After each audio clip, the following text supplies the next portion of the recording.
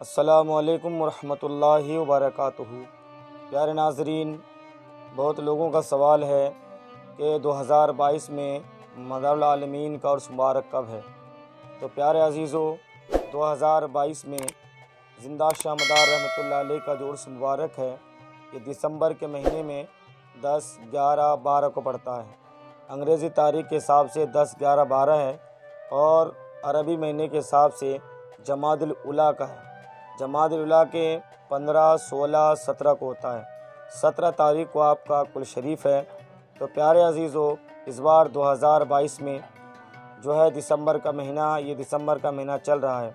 दिसंबर के महीने में 10, 11, 12 को उर्स मुबारक है। 12 तारीख को आपका जो है कुल शरीफ है।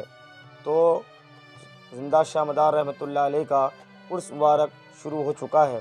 तमाम ज़ायरीन से गुजारिश है कि जितनी जल्दी हो सके सरकार ज़िंदा शाह मदार रहमत के बारगाह में हाज़िर होकर फैज़याब हूँ, अपने लिए और अपने अहलयाल के लिए दुआ गो हूँ, क्योंकि अल्लाह के वलियों के बारगाह पहुँचने से कलूब साफ़ होते हैं और दिल में जो परेशानी और जो परेशानियाँ होती है, वो भी ख़त्म हो जाता है दोस्तों।